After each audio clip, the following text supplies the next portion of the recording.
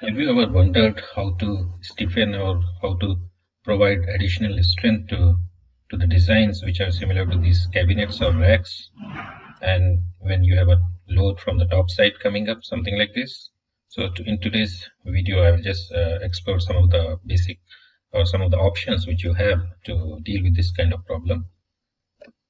So you can see there are three options Option 1, either you can bend it from each end, both the ends, something like this, wherein you have two flanges and this will provide some stiffness to the structure.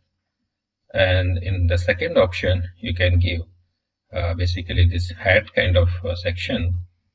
Okay, so this will also give you some additional strength and this is having some flat section on each side. And then option 3 is having some U section alright so th this will also provide some additional strength.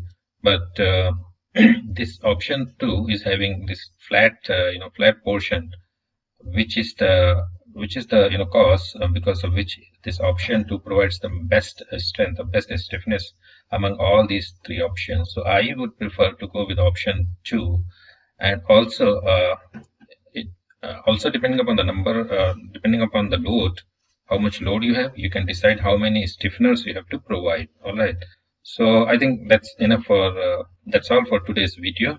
And i hope it will help you to understand and design a right uh, right uh, sheet metal structure in your upcoming designs